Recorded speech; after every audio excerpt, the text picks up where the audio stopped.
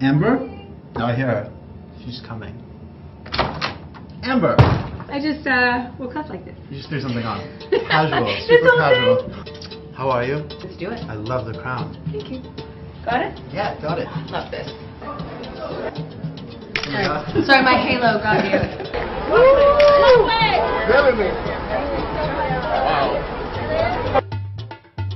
We're surfing over to the Met right now. We're testing our core strength. Yeah, Amber has much better core strength than I do. Bye, guys. Bye, guys. right now.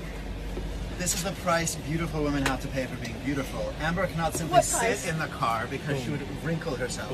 So if you ever wonder how people arrive to the Met looking wrinkle free, this is the way. We're literally riding in a room on wheels.